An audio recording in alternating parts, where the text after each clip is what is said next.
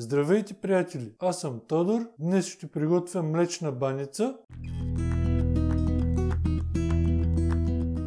Ето и необходимите продукти. 470 грама фини точени кори, 1 литър прясно мляко, 6 яйца, 200 грама захар, една кафена лъжичка сол, една ампула течна ванилия и 100 грама разтопено краве масло. Започваме с приготвянето на рецептата. Намазваме тавичката, в която ще подреждаме баницата с разтопено масло.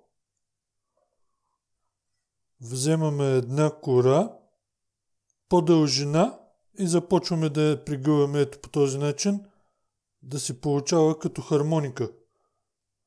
Ето така. Сега навиваме на охлювче и слагаме в центъра на тавичката. По същия начин продължаваме с останалите кори, като всяка следваща навиваме около охлювчето.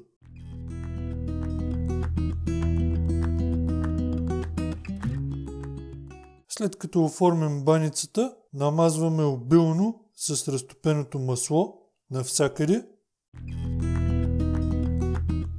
Слагаме тавичката в фурната, печем в предварително заграта фурна на 180 градуса в долната част на фурната, без вентилатор, за около 25 минути или докато корите станат златисти. 25 минути по-късно, току-що извадих корите, сега заливаме ги с яйчената смес –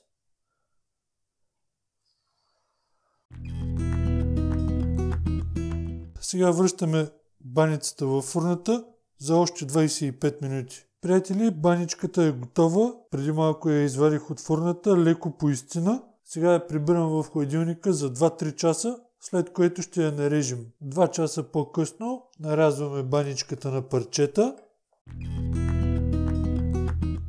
Изваждаме едно парченце. Ето вижте, хубава, сочна. Колкото повече престои в хладилника, толкова по-вкусна става. Нека да видим как се е получила и отвътре. Ето вижте. Уха е на ванилия, на масълце. Супер десерт. Това, приятели, е моето предложение за днес. Ако ви харесват нашите рецепти, давайте палец нагоре, така много ни помагате, за което ви благодарим. Пожелавам ви хубав и успешен ден. Довиждане и до нови срещи!